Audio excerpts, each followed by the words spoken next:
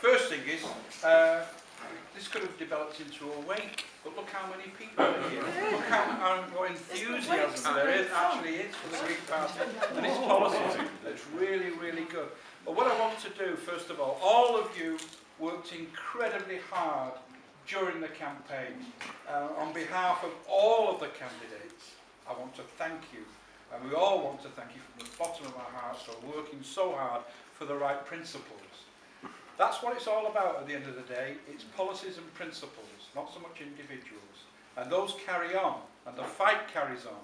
Uh, we will certainly do that.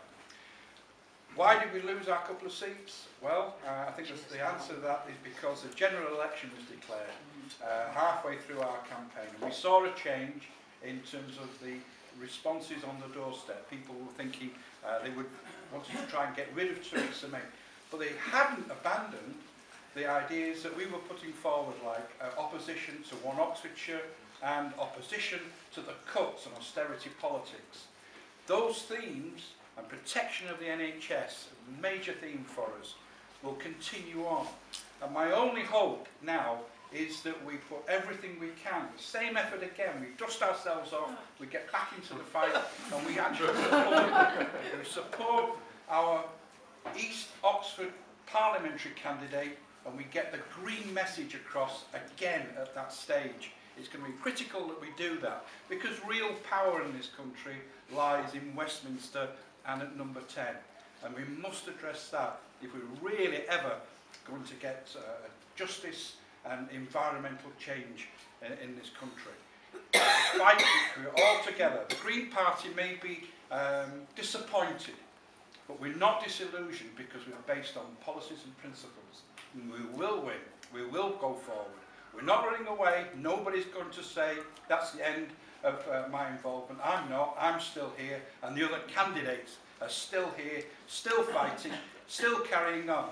And given the opportunities of politics, everything changes all the time. And the opportunities for us to make those statements and make those policies and make a speech will, will emerge again. So we will do that and we'll carry on. The important thing yeah, I think, is in the general election. Larry's here. Where is Larry? Here he is. this is the man who will carry the torch in the next few weeks.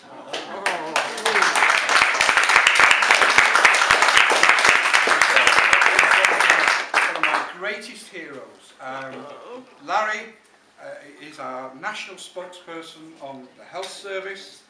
One in nine people in this constituency work in the health service. It's going to be in a very, very important aspect of this election. And I'm proud, deeply, deeply proud, that Larry is going to be our candidate. And I'm, I hope over to you, Larry, because you've got to carry the flag from this oh, point no.